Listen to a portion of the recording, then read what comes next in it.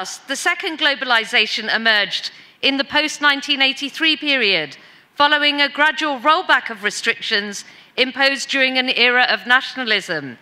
This period witnessed unprecedented levels of international integration, with core nations granting substantial access to peripheral countries, even in the face of conflicting foreign policies or military strategies.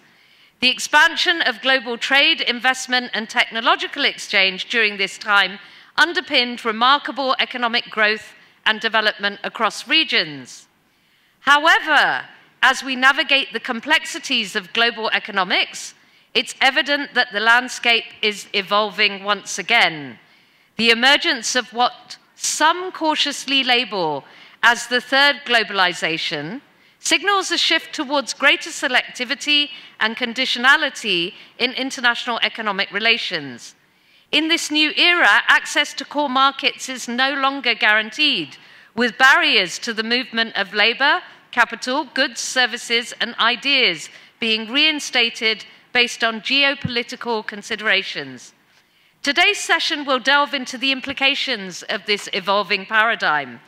What specific restrictions have arisen in this third globalization, and what additional constraints can we anticipate in the future?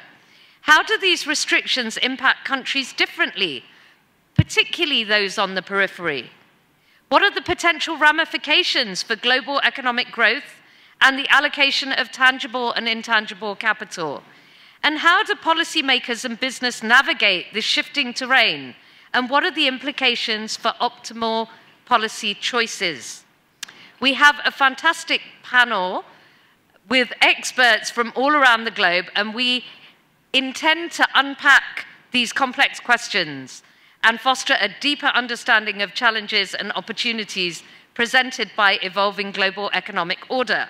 So it's my pleasure to introduce our panel, which is chaired by Do uh, Dr. Jyoti Chandiramani.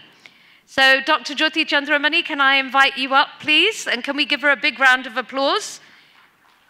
She's director of Symbiosis School of Economics, Dean of Faculty Humanities and Social Sciences at Symbiosis International University. She brings over 35 years of experience in teaching, institution building, and research, recognized for her educational contributions, including representing India at international conferences. She's received the prestigious awards such as the Gold Karamveer Chakra and Rex Karamveer Global Fellowship. Her research focuses on urban development and international economic cooperation as evidenced by her publications. We also have Dr. Fahmida Khatun. Is that the right pronunciation? Yes, okay. Executive Director, Center of Policy Dialogue, Bangladesh. Can I welcome you? Big round of applause, please. She's the Executive Director, Center for Policy Dialogue in Bangladesh, non-resident fellow at the Atlantic Council. Dr. Khatun holds a master's and PhD in economics from University College London. She has a career that spanned research roles at BIDS, UNDP, and USAID. She's a respected figure in the field, and she served on economic panels and advisory committees in Bangladesh, where she's known for her research findings which have been widely published. We also welcome back a speaker who was speaking yesterday, Mrs. Anniken Huitfeldt, former Minister of Foreign Affairs, Kingdom of Norway. Please give her a big round of applause. She brings extensive experience in international relations and diplomacy, and as a former minister, she's been deeply involved in shaping Norway's foreign policy and navigating complex geopolitical landscapes. We also have Ra Rahul Bajoria, Chief Economist Asia Pacific for Barclays Bank. Rahul, welcome. Big round of applause, please. He leads thematic research across Asia Pacific and serves as chief, chief economist for India with a master's in economics from the National University of Singapore. His expertise spans time series econometrics and financial volatility models. Formerly at INSEAD and NUS business schools, he specializes in productivity and growth.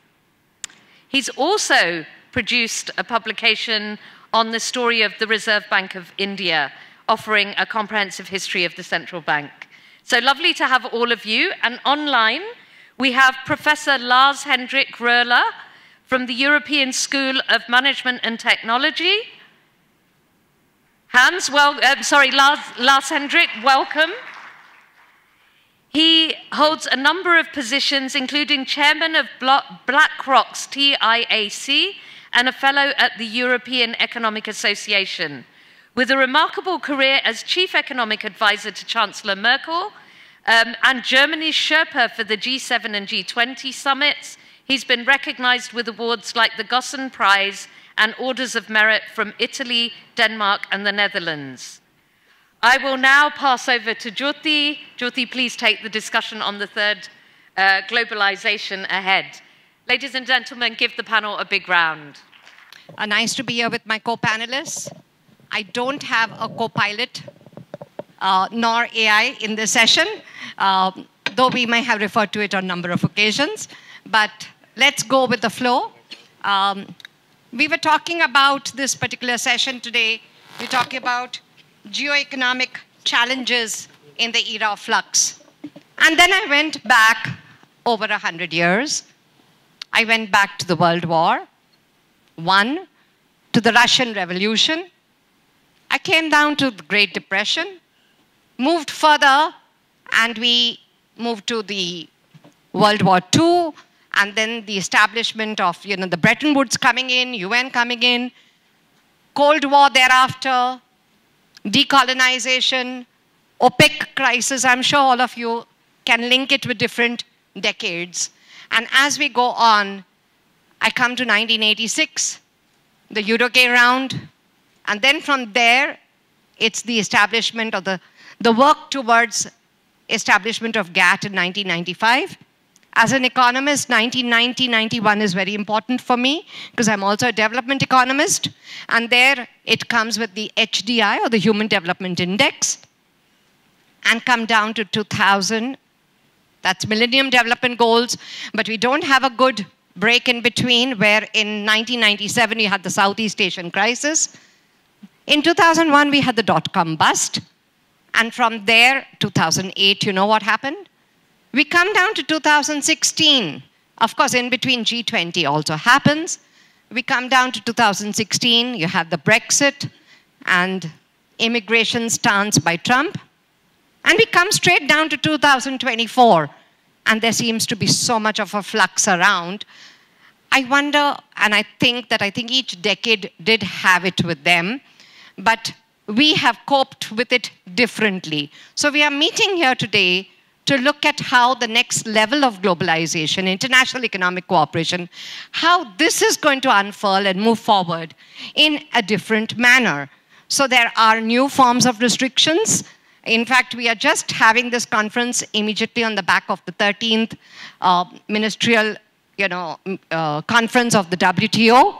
And uh, till from 2019, till date, there has been no dispute resolution that has happened because that's been under, you know, kept under wraps till it gets addressed.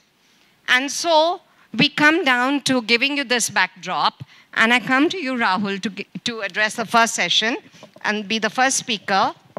And the questions were really put down to, given this geo-economic flux, which gets integrated with the geopolitical flux around, Okay? How has it impacted the overall international economic cooperation, whether it's trade, investment, information, people? How have they got affected? Are we moving towards a more plurilateral regime from a multilateral regime? And then moving down, we come to the third part of the question over here. What kind of restrictions have increased or arisen? Uh, old ones have continued, like sanctions, but what new ones have come in? I think each one of you could bring in your regional context and your country context to give it a more global framework. Over to you, uh, Thank you. Thank you, uh, Dr. Jyoti. Yeah, so, you know, just to kind of take a step back, since you sort of laid out last 100 years of progress and, you know, various stages of globalization, I think it's a question of if you sort of think of it as a sine curve, right? And you move up and then you move down we are probably on the move down phase at this point in time in terms of global trade where it stands. So at level terms, global trade continues to grow. You know, you, you have basically a situation where the world feels more integrated from a travel perspective. You know, you have, you have greater mobility of people compared to where we were 100 years back. But effectively, uh, for the last 15 years or so, and I, I picked that time frame uh, very carefully because I think the global financial crisis and you know its ramifications, both in terms of what it did to general confidence levels, and you know you had two incidents basically or two uh, dimensions of it. First, there was the, the the fall of the say the U.S. housing market uh, this economic stagnation, which really plagued, uh, you know, a lot of issues or created a lot of issues in the West. And then you had simultaneous rise of China, right? I mean, these two parallel events were kind of moving together. And that effectively led to a situation where we have seen a gradual rollback of globalization, especially from a trade perspective. But then I think the weaponization of trade and, you know, like supply chains, etc., in the last few years, particularly in the backdrop of COVID, has really accelerated the process. Now you can look for numerical examples of you know which country has imposed what kind of trade restrictions. But then there's also the parallel more structural issue of you know climate change, green transition, which is leading to trade restrictions of different kinds, right? So uh, you know we we can talk about say the border adjustment mechanisms, uh, say that European Union has proposed in context of uh, getting uh, goods from other parts of the world. But then you also have sanctions coming in. You know we have seen basically a fracturing of agreement that global trade is a good thing, right? And and this is not necessarily happening, uh, you know, across the world. I think people are basically, and India as well, in that context has become more and more opportunistic. But this also kind of reflects, uh, you know, the fact that people are not really thinking about it on an ideological basis, number one. And number two, they are not trying to take a very long-term view of what global trade should look like, right? Because your immediate requirement of, say, getting iron and steel, getting uh, oil, getting uh, energy, getting people, you know, is now. This needs to be solved in six or 12 months. So you're not going to take a five-year view saying, oh, I'm not going to do something, you know, because I, am ideologically opposed to this. But that, I think, has been the fundamentally the biggest change when we think about globalization, that the world has become very short-term in its approach. Most countries, and, and this is very visible in policies that, say, the US has adopted in, in the wake of, say, the CHIPS Act, the Inflation Reduction Act, and, and it's leading to more and more fissures as far as the broad uh, policy environment is concerned. Now, is there a possibility that this changes anytime soon? I, I, think at this particular point in time, and this is a point I always make to my clients when I meet them, is that we have probably entered a decade where you know the political imperative is going to dominate uh, you know the economic logic in, in many in many ways. So the whole restructuring of supply chains, you know, talking about resiliency over efficiency. I mean, these are all new, not new buzzwords. I mean, they have been around for a while.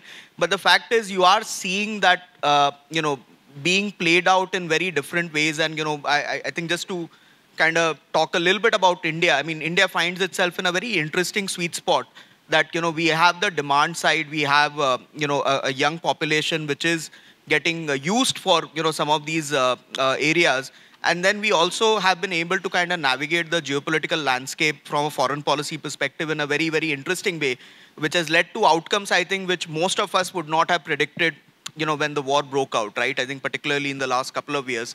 So from that perspective, we have done okay to navigate these challenges.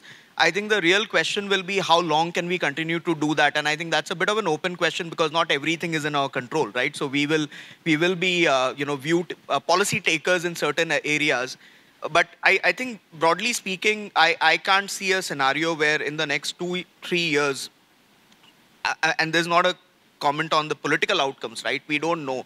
But irrespective of what the broader political outcomes are globally, we are in a year of you know significant elections. I don't see there being a political consensus at a global level, right? On on on the notion that you need to continue to integrate more and more because you are seeing different uh, types of restrictions coming up, whether it is on mobility of goods, mobility of services, mobility of people. And I think the only thing which where there seems to be very little control is mobility of ideas, right? So this can, you know, kind of come across in Instagram, you know, a, a particular meme going viral that happens at a global level nowadays, but it could also mean that you have certain, you know, technologies, etc., which will transcend borders. And, you know, that is really where globalization is most visible at the moment. Everywhere else, we seem to be retracing at the margin. Yeah. Thank you so much, Rahul. I think you talked about the ideological basis being dropped. And from here, I think I'll, I'll take the session to you, Fahmida. Uh, over to you. Thank you. Thank you very much. I would like to uh, first uh, thank uh, the organizers for inviting me to speak at this August gathering. I'm really honored and humbled. Uh, and also for the topic which has been selected, and the theme itself is so important and uh, timely because we are all going through this, um, this globalization, the, um, the context you have set, and also the um, the announcer, I don't know her name, but she also very nicely um, mentioned uh, the context, uh, the preface of this globalization, how it is all encompassing at the one hand, but it also uh, um, um, having impacts on us in various ways. Because there is, first of all, I mean, as an economist, you have uh, rightly mentioned that globalization, you know, it's it's a means to progress, but it is not automatic. And it is not going to have a similar impact on various sections of the people, be it the first uh, wave of globalization, second wave of globalization, now third wave of globalization. I think we're at the end of third wave of globalization. We are, in fact, approaching the fourth wave of globalization, as we say that fourth industrialization, like that. Um, so the first one was very easy, but then the uh, trouble started, you know, towards the second and third. So at this point in time, what we are observing globally, that the global economy has increased the size itself, and also the amount of wealth has increased. And technological progress has really tremendously made our lives easy. And at the same time, we're also observing that the volume of trade um, and the transactions in terms of trade and financial transactions, the volume has increased. So to some extent, and to a great extent, I would say that you know, the world has seen such progress which it has not seen ever before. And it can only you know, be better. But on the other hand, the irony is that the challenges are also huge and insurmountable. Take the example of uh, inequality. Despite having you know, uh, so much of wealth globally, we are observing inequality across the world, be it a developed country, be it a developing and least developed country, that is uh, you know, increasing as rapidly as the wealth is uh, increasing. The second one is that the technological um, innovation that has made our lives so simple, so easy. But at the same time, it is also disrupting or making intrusion our, uh, into our lives. We, one doesn't know that you know what is left now. So everyone, all our data and information um, is uh, getting stored somewhere, and how those are being used and what kind of problems um, we are going to face in the future, that is something which is really, really scary. And the third one is, of course, the impact of climate change. It is uh, one of the most important uh, problems right now because whatever progress you make, no matter how much, it, how good you bring in, the unless and until we can control, we can tackle the impact of climate change, it, it, everything you know will be washed away. It is not only an issue of the countries which are vulnerable to the impact of uh, you know, climate change, which are mostly the poor and marginalized countries, but also it's going to you know, hurt the people of the developed countries in the long run because this is a you know, cross-boundary issue. And it's not an issue that, you know, if I am saved and the other countries are going to be, you know, facing sea level rise or facing natural disasters, cyclone, Sidr, and we, are, we will be, you know, living in a glass house. Because we see that in some of the countries, even in the United States, when, where the technology is so, you know, up, uh, up to date and so vast, so accessible, when there are simple flooding or cyclone, how they struggle to tackle that. I think Bangladesh tackles better than the uh, you know, advanced countries in terms of uh, uh, tackling the impact of climate change. So the you know, issue, what I'm trying to um, highlight is that globalization brought in many um, positives, but it also has uh, the negatives. But it doesn't mean that we will be you know, shying away from globalization. Because there's a saying that if you open the window, there will be flies or dust. But for that, we wouldn't close the windows because we need fresh air also. So it is the issue how we tackle that. And this is not an issue of any particular country or particular region. It is a global issue. And to that extent, I would like to bring in the issue of global governance as well local or domestic governance we all are you know, familiar, we are facing every day, day to day. But at the global level, it is so important and it is also very difficult to make any changes. What we're doing right now, the organizations which are, uh, which are tasked with uh, various responsibilities, finance or trade or environmental climate issues, so they are dealing with issues which are evolving every day. We are dealing with 21st century issues, but we have a 19th or 20th century lens. So that has to be changed. And you touched upon the issue of the um, 13th ministerial meeting of the WTO, which is right now going on. It was supposed to close on the 29th, as it always happens that, you know, last minute they cannot come to an agreement, um, so they have to extend. So ha it has been extended by one day.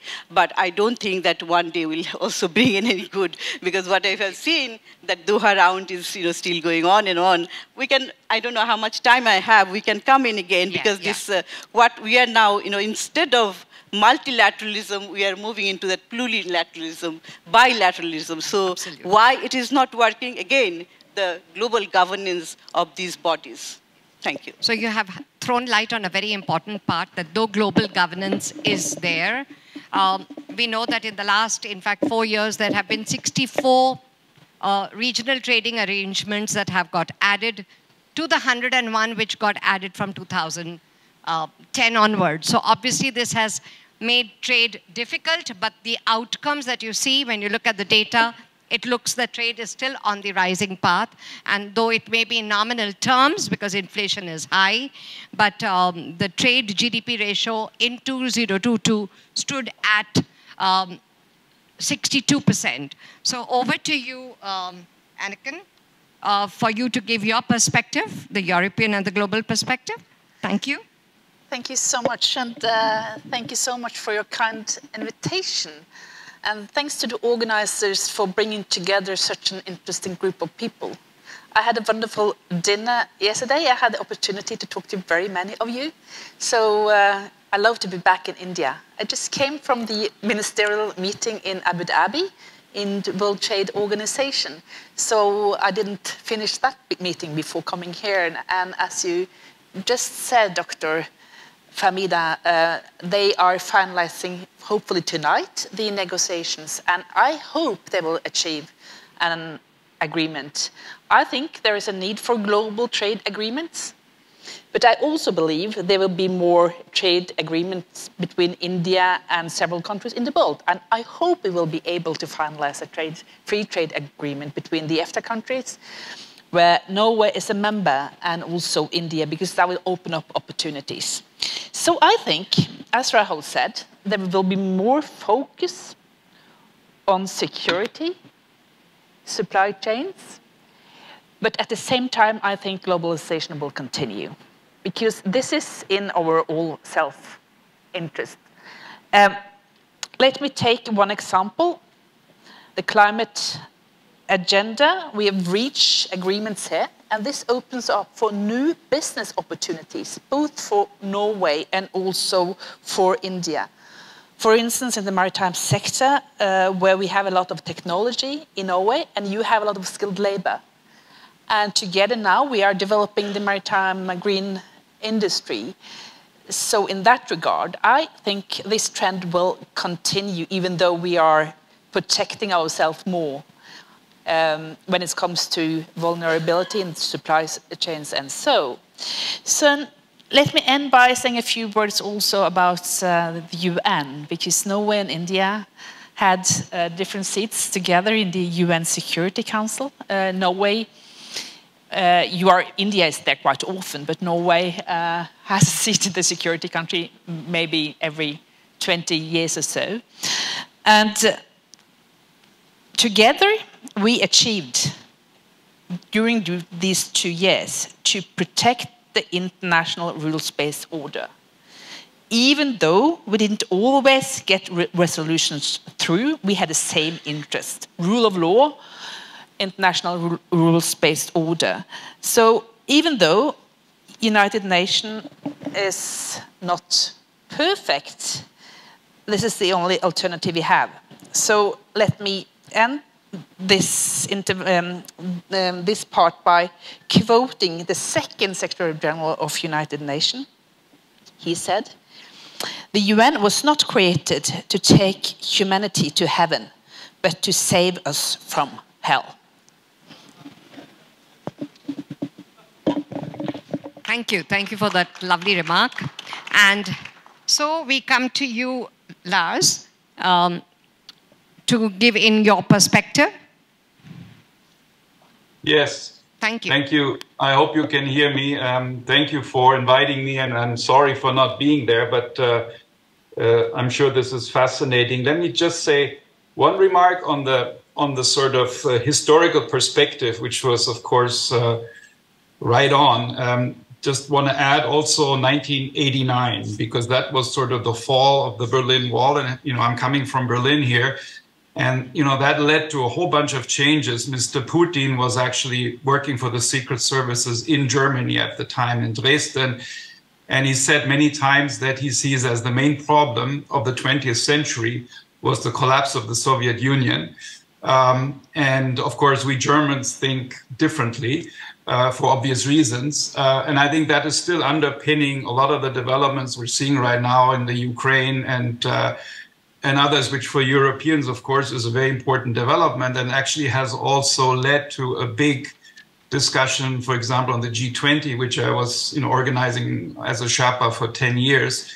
Um, so I think that's uh, that is also a, a, big thing. And the other issue, I think, is that we're sort of looking after World War II. I mean, this might be a very European perspective as really were sort of the West, and I think that's part of the problem now. The West sort of created some, you know, the governance, a lot of the governance actually, um, um, and that has actually, you know, led to a lot of benefits to countries like Germany and, and also Norway, which are free trading countries, and that is sort of changing now. And uh, so I think those those are for us sort of the the big steps. And and I'm not a big fan of categorizing globalizations. I think these are all processes which are developing. And I think some of the remarks you made is we have to be careful it doesn't go too far in a direction which actually doesn't help the people and doesn't help equality and fairness also. I think that's very important.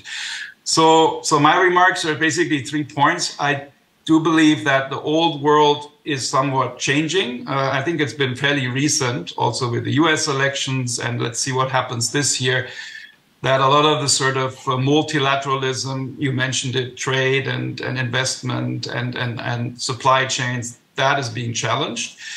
Um, and maybe that's a good thing. And I think we're going more towards what, what you know many people call the multipolar world.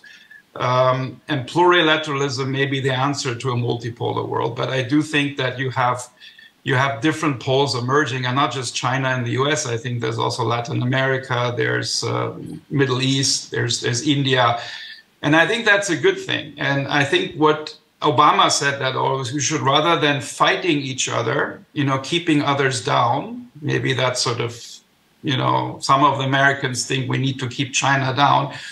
We need to work with them, and I think this is this is going to be my main point at the end. So I think the world is changing and the reasons is people were unhappy with with the, with the, you know I think that it led to inequalities. It didn't solve a lot of the global issues, and there has been a tectonic shift in global economic powers. I mean, India is a perfect example, and I think that's a good thing. Um, but what we should not do is now add too many restrictions to, to growth. Um, and somebody said we're moving from just in time to just in case.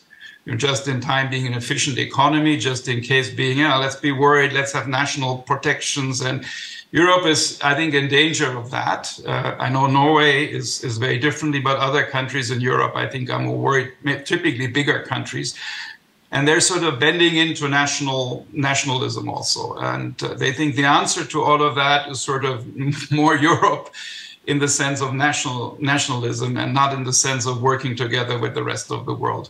So i think that is and you can go through that inflation reduction act let me pick on the americans. I mean that's blatantly protectionist. Uh, they've been preaching the rest of the world for the last 10 years not to have local content, and here we are. Um, so I think that the West itself is actually, um, you know, some, you know, destroying some of the institutions themselves, and let's let's hope that not happen.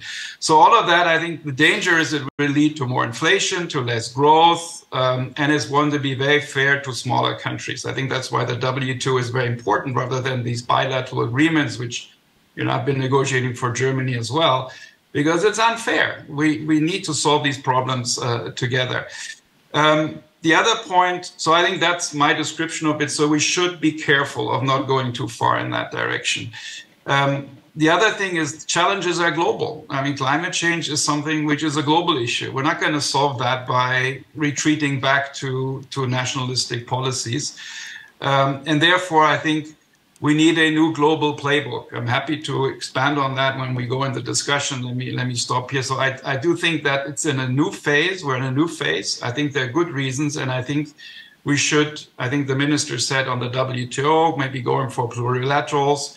Um, but we need a new playbook which which avoids sort of the pitfalls of uh, going down the wrong path in terms of solving these global issues. So let me leave it at that, and then I can expand on that later on. So thank, thank you for your comments, uh, Lars. And so we come down to the next part of our uh, discussion, panel discussion. Uh, when we talked about trade being restricted uh, through sanctions, through carbon taxes that are being talked about, carbon border adjustment mechanism, through the failure of dispute mechanisms at the WTO, which have not got realized, RTAs coming up, and a lot of such things. How do firms in this situation adjust upon, you know, how do the firms grow? What are the challenges that they face? How are they going to optimize in terms of constrained maximization against optimum maximization. There's al always going to be an impact on the bottom line. What's going to be its impact on the capital flows? Because we've seen, uh, especially in 2002, the FDIs have fallen to the levels of 2000. They've really come down. So in that sense, how do you think firms are going to get uh, adjust to themselves? And therefore, uh, will this all impact things like finances for sustainable development goals, finances for climate change. So I'm over to you, Anniken, for taking this round now. And you have three minutes because we got limited time. Well, um, since I only have three minutes, I'll only answer one part of your questions about uh, International Division of Labour. I think we will see more of that in the future. But in countries in the Gulf, for instance, there is they're given ILO a much more important role. And I think this is a prerequisite for more international division of labor. Because if Norwegian companies are going to invest more in India, there will be increased focus also on conditions for, for labor. So that will always be a part of all kind of uh, trade agreements, um, because we have to solve, as Lars said, he, he talked about the climate change, and, and, and, and we really need to work for that together. So um, recently I visited a company in Norway, and they have uh, developed autonomous um, barges with zero emission technology. And these barges are developed in Norway but built here in India. And by doing so, um, India is getting access to new and green technology, and we are getting access to skilled labor. So I think this is a win-win situation, but we need more common standards on climate and also labor standards, even though we cannot compare um, labor standards and introduce the same labor standards in all countries. I think this is extremely important. And uh, we also need to understand why United States now is protecting their own labor market. They have lost a lot of jobs during the last um, years. So we need to understand that also in order to um, create better international regulations in that, uh, in that regards. Thank you. Thank you so much. And Lars, we are over to you with three minutes for you to contribute to this session. Okay. Um, if I understand it correctly, I think, I mean, there's a big debate right now. What should governments do and what should firms do in terms of these, let's say, climate change? Um, and um, and I think the challenge for governments is to work together. I mean, I've been negotiating the climate part in the G20. Uh, and let me just pick on carbon pricing. Um, it's been very difficult. I mean, we're doing some steps in the right direction in Europe. I'm not a big fan of the border adjustment tax because I'm afraid that creates all kinds of um, adverse effects. But you know, it's coming, and um, the German government in the end also agreed to it. Uh, but so I do need. I think we need to look at global pricing, and um, you know there are you know certain countries in the G20 which always blocked a move in that direction. Um, so I think we need to work together. And my hope is, and I was just in China talking to some of the responsible people there, that you know as it gets worse as we move forward, you know climate is clearly not not going the way it should be going the pressures will be hopefully larger, larger and larger from societies on governments to actually do work together. Um, but I'm not sure. So, so I do think it's important. I also think it's important. We haven't talked about that very much. As reform the, the governments, the international fund. You talked about financing. I'm, you know, chairman at BlackRock, looking at climate finance. Of course, they're looking only at things where there's enough return. So this blended finance idea, the reform of the World Bank, I think is very important other aspects which I think we really need to get our act together. We've been talking about that for 10 years, how to get public money better you know, implemented to, to trigger private money. The whole development aid really hasn't worked very well from the West. So I think that's another. So that's I think main parts of the governments. But at the same time, there's some responsible business leaders um, which think you know, given that governments can't get, I mean, put it bluntly, can't get their act together, because they're under political constraints, which are reasonable. So let, we need to do it. So we need to have more joint ventures. We need to work together. We need to develop technologies. Um, um, and I know that the German companies are very active, uh, also in India, I think. We've been working on a free trade agreement with the EU for years, which still hasn't happened, by the way, the EU India free trade agreement. We were very close at some point. So I think there's a role for for firms to to also um, to also contribute. Um, yeah, so I think those are some of the the things which I think need to be happening. So in this puzzle of 193 countries and the complexities of globalization and trade, over to you, you know, Rahul, to give your perspective. Yeah. So I I, I think uh, you know most of the time my impression would be that companies don't necessarily sit and take a long-term view on, you know, how are they going to take calls, uh, especially in the last few years, right? So I'll come back to the point that ultimately they are responding to what the economic outcomes are around them and how it's going to play out. I think one fundamental change that has come about in this particular decade, you know, and we have had COVID, supply chain disruptions, the wars, relative to what was happening in the previous two decades, right, where you, you had basically a very peaceful globalization that was going on, is that the whole logic of efficiency, profitability, dictating how capital flows are going to move is completely dead. Right now, it is more driven by what if your factory can get shut down the next day. What are you going to do? What if your key suppliers are? So, so it's not a necessarily just a question of you know the resiliency aspect is both in terms of your ability to access and your ability to disrupt, right? So when, when US does Inflation Reduction Act, they are basically trying to ensure that their own supplies are not going to be disrupted, right? Whether it is in the form of goods or services. At the end of the day, th this was kind of the point I was trying to make uh, in my opening remarks that it's we, there is a bit of a siege mentality that has crept into governance networks and also in boardrooms, right? So uh, this is not going to change just like that, right? You need significant progress for, for this kind of mentality to be rolled back. And you need years and years of stability for that to happen. But clearly, that's not the direction of travel. The other point here is that, you know, the, the fact that you are seeing differentiated pricing, particularly for key resources, right? And this could be in the form of, say, energy, where, you know, say, if we take the example of a large German company which chose to kind of, you know, which is kind of gradually moving to China because they can get cheaper energy over there this kind of dynamic is also going to be at play, right? It's a question of where are you supplying to, who are you supplying to, where are you getting your raw materials from, and that I think will ultimately determine, you know, what the industrial shape will look like in the next 10, 15 years. Part of it is also very visible in India itself, say with the Apple ecosystem developing. It is not that India is the core, core source of demand, right? It, it, India accounts for about four, five percent of overall iPhone sales, but you know, eventually the gradual demand is going to come from this part of the world, especially if China tomorrow decides to say that, well, you cannot use iPhones anymore, right? If they block out the OS, then you have no choice but to shift, uh, you know, shift to and look at other growing markets. So I think it's both a combination of resiliency that will drive uh, performance.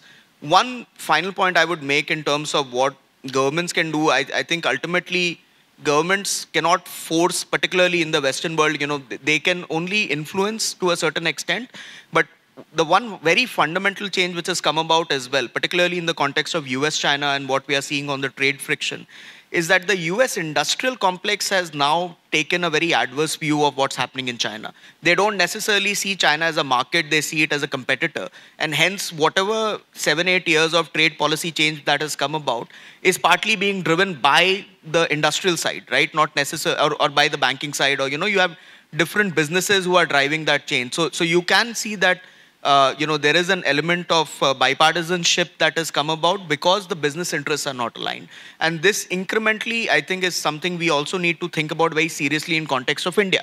Because in India, we also need businesses to actually take a very active view and, you know, a, a view on what is the right foreign policy approach, right? The government cannot do everything and they may not even be aware of what the, uh, you know, uh, what the dependencies are. So the business has to take a much more active view of what the state of relationships of, of our relationships with the world should be like. From here, we come, come to you, Fahmida. Uh, three minutes. Um, thank you. Uh, the issue which I touched upon earlier also, you just uh, asked us to elaborate a little bit. So um, the issue of climate um, issues, climate challenges, how to tackle. So as I have mentioned, this is a global problem, maybe affecting the poorer countries more, but it has to be dealt uh, globally. And in a, in a manner that the developed countries provide support. Support is needed in three areas mainly. One is finance. It requires a lot of investment for both for climate adaptation and mitigation and also for technological um, technology for mitigation particularly. And the third aspect is capacity development. Even if you have the you know, technology, access to technology, how those are going to be used because it's at the end of the day it is the common people who are facing the challenge the farmers the you know fishermen and also the people who are um, at the margins so regarding the climate technology, I want to highlight as the WTO ministerial goes on, uh, I'm also coming from there. So eh, one important issue is now that access to climate technology. You remember when COVID um, had hit us, the main issue was access to vaccines even though humanity was dying, but corporations were not giving access to their patented uh, you know, vaccine formula. But then, of course, uh, there were political leadership came up, and then there were good senses prevailed. But then, similar cases are we facing similar cases in case of climate technology? Because um, the as we know that you know um, within WTO. Uh, TRIPS under the TRIPS agreement, TRIPS uh, clause 66.2, which talks about technology transfer to the least developed countries, which has never happened um, in a true sense. And I come from a country which is the least developed country right now, but going to be graduating by 2026. So this is going to be a real challenge, maybe you know, for uh, Nepal also um, and the other uh, LDCs within the region. That once we graduate, we are going to lose that, but on top of that, the technology which are very, very expensive, uh, we are not going to have uh, access to that. That is why access to finance has become so important. And with this regard, I would also like to mention that you know, in, at the international level, uh, many organizations, many uh, multilateral organizations, they're working in silos. Um, of course, climate issue is an issue of UNFCCC, but it has cross-cutting and you know, um, it is linked to the WTO issues. It is linked with the uh, financial institutions like World Bank, IMF, and many other, you know, by uh, many um, multilateral financial organization, multilateral development banks. So, but we see that quite often that their policies are, you know, in, in silos, there's no coherence and no integration of ideas. So this is one of the challenges why despite having so much of resources, despite having so much of talks and discussions, it, at the end of the day, the, we don't see the output. We don't see the results. So collaboration within the organizations is very important.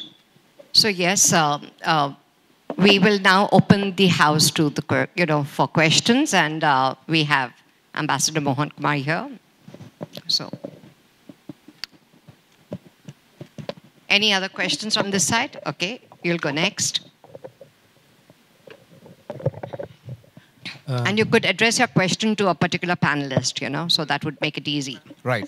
Thank you, Jyoti. Um, I'd like to introduce myself as, a, as an extinguished diplomat and a flourishing academic. So I was an ambassador in a previous birth, but thank you very much, a fascinating panel. I think it's important to also look at the reasons why globalization has changed from the second to third. I thought the second one was purely economic, and I'm inclined to think this globalization is geopolitical. So from it's the economy stupid, it's now the, it's the geopolitics stupid. And I think the reason is that it's very interesting. In the West, I think the former model of globalization produced more losers than winners. But in countries like India, that's not the case. We actually have more winners than losers. So your question is to So my question is actually the entire panel, but perhaps actually to the former Norwegian minister, because in the West, I think you have a problem. You had more losers than winners. As you rightly said, the US, they lost jobs and so on. But in India, that's not the case. We would have quite we'd have been quite happy to continue actually with that model of globalization, but we don't have a choice. The other thing I feel is that the state is back. So we've gone from Washington consensus which talked of shrinking the state to really a very small role, to an East Asian consensus where the state is playing a big role. Now, if you were to shift to that model, and I think you, you talked of, um, this may be addressed to Rahul, you know, you talked of Inflation Reduction Act, the Europeans want to CBAM. The Indian state has not been that great, although I used to belong to the Indian state for 40 years, I should know. I think we are not great at delivery and so on. And that is true for the South Asian region as well. So, how is that going to leave countries like India when you need a strong state and the state is really back in a big way? Thank you, Jyoti.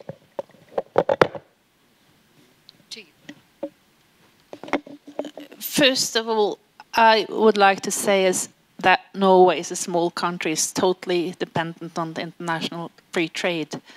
And if we look on figures from 1990, where the world sort of opened up, we have a, had a tremendous economic growth because of more international trade. So, in that respect, we have the same interests as very many African countries and also countries in the global south. So, I don't think um, this terms that West has certain interests um, and that the global south has other interests. I don't think that's um, that's a meaningful distinction actually, uh, because we have benefited a lot. But I think um, we will see in United States, and they want to protect their labor standards, and they will do that domestically. And I think that IRA has very many good things because it is a very good instrument. So America will take place in the green shift on the other hand, it also creates obstacles for, for Norwegian businesses. And I don't believe in a competition of subsidies because that will not lead to innovation. So um, here we have common interests, I believe, with uh, India. So we are facing parallel trends. I think we will see more globalization on one hand, but on the other hand, all countries including China, including India and Norway, we will protect critical infrastructure more than before. This is a lesson learned from both COVID, but also the war and the invasion of Ukraine. And I think our German friend here, uh, he can confirm that, that we need to also look at alternative supply chains so we are not getting that vulnerable. But um, yeah, so that's my Thank you. brief Thank you. answer. Yes, over to you. Atul Singh. I'm the founder, CEO, and editor in chief of Fair Observer, a platform for world affairs. I live in Washington, and uh, I was on Capitol Hill on January 6th, not breaking in, but talking to people. So, so quick question. If you look at the US, the US created the Post War Order, 1991, big change. You had a unipolar world. And uh, now, uh, what uh, Chancellor Olaf Scholz has called, uh, we are facing a Zeitenwende, 24th February 2022 invasion of Ukraine. But I would say the Zeitenwende begins with the election of Donald Trump. And he throws out the TPP, and we are in the Asia Economic Dialogue. TPP gets thrown out of the window, tariffs on China, the world thinks Biden will come in and we will go back to free trade. Instead, he doubles down on the Trump protectionist policy. Now, if there is one thing on which you have bipartisan consensus, and I can say it because I've talked to both Democrats and Republicans, surprise, surprise, is that they need more protectionism. How do we navigate this brave new world? And by the way, Rahul, I completely concur that uh, political imperative will dominate economic logic for the next 10 years. So, Great remark. So, would you want Lars to answer this? I, I don't care who answers it. Okay. I'd lo love to hear the wise people up there. Okay. Lars, over to you. Okay. Sorry, sorry, I was yeah, muted. Yeah, yeah forgot. No, I, I would agree with much of that, uh, especially the double down of Biden. But there was still a difference between the Biden administration and the Trump administration. Um, uh, in the sense of a commitment to multilateralism, at least sort of, um, you know, in the G20 and many international fora. But the policies actually, I would agree with the assessment. Uh, actually, Trump one wasn't so bad in the end, let me say. We were expecting much worse from him. Um, but it's interesting to now look at what will happen if he gets reelected. You know, I think there there's a lot of talk on that, um, and so I think that's that's uh, that's a very important thing. Um, and I think that on the point of geopolitics dominating economics, that's undoubtedly true. I think that's a problem also.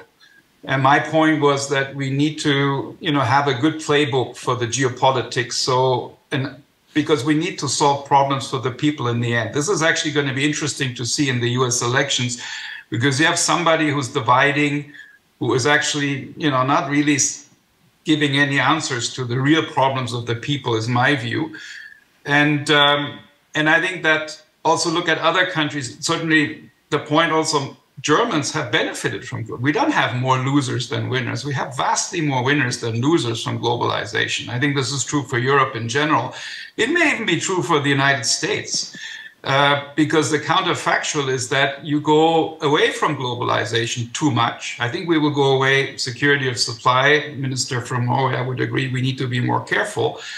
But the counterfactual is much worse for the people than if we get a right balance between geopolitics and economics. And I think in the end, people care about welfare, especially in those countries where economic growth hasn't been, welfare hasn't been, you know, it's a huge catch up needed.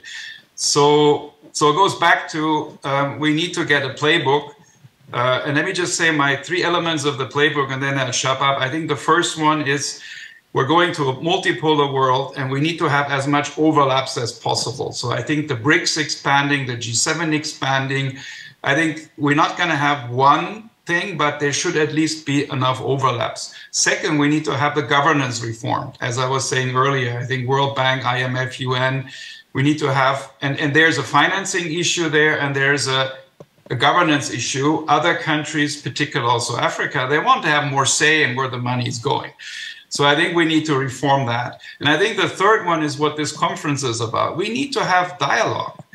Uh, between these poles. Um, and I need to find common grounds. It's a bit like in trade. We're not going to have comprehensive trade agreements, but we have plurilateral. There are areas where we should work with China. I disagree with, with, you know, basically, you know, looking at them as an adversary.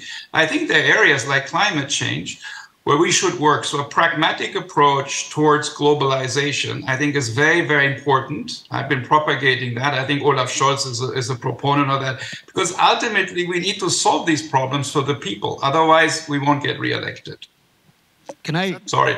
Thank you. Thank you so much. Uh, add, in the interest uh, of time, um, Sorry, uh, Jyoti, can I add uh, one point on this? So, so I think this is a very pertinent issue because effectively uh, what we are seeing in some ways is that you, you're, you're sort of having this logic of, you know, what the globalization is desired from a normative perspective versus the way it's playing out, right? And I think this has been the fundamental change that it is no longer ideologically driven, right? Uh, like it's, there's nobody, like nobody's listening to the IMF when they're saying we want to do more trade because, well, you're not sure, you don't want to trade with certain countries, right? So if you have differentiated, uh, you know, cho choice of like saying, okay, I want to uh, import from this country or I want to export to that country, you will see that fracturing, you know, come about. It may still lead to a better outcome, but this is completely, uh, you know, this is going to be the dynamic for the next, uh, you know, decade or so. I think on the point around the, the geopolitical and, and the government imperative, I, I, think this is being driven by the industry, right? This is the big change. Like in US, it is driven by the industry. In India, when we didn't sign up to RCEP, right? This is, I'm talking about 2018, India lucked into industrial policy way before anyone else did. And we did it because we were not very strong on the trade side. But India is now going back to free trade agreements, right? So I think the opportunism of the whole trade structure, right, is going to be determined by what is your own context. And here, one final point would be that for countries which are adding demand to the world, right, which run current account deficits, US, India, you have parts of Southeast Asia, they are fundamentally in an advantage because you are adding demand to the world. Europe cannot pursue uh, industrial policy simply because they are dependent on trade, right? And that I think is going to be a bit of a challenge as to how do you navigate that. Okay, so in the interest of time, we will um, not take any more questions. Um, we end on a note by thanking all our panelists, thanking our audience. Yes, we know globalization has its sense of opaqueness. It has increased but the manner in which it is unfurling, we do not know. It's a question of running with the run with the hare and hunt with the hounds, and therefore ideological based principles are no longer really uh, there in, in a number of situations because self-interest dominates what is called the overall good. But despite that, somehow the global order is coming out with something which is working, but some things which are not. So thank you on this front, and uh, we can conclude with this session.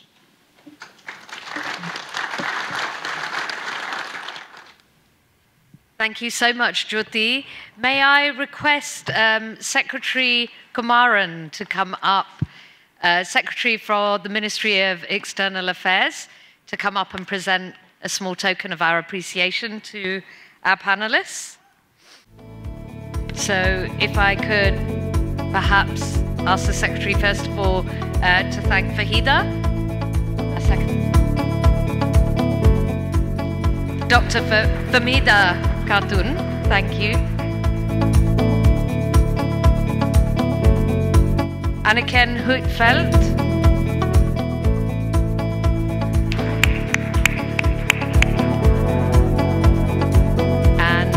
Rahul Bajoria. Big round of applause, ladies and gentlemen. And to our chair, Jyoti Chandiramani.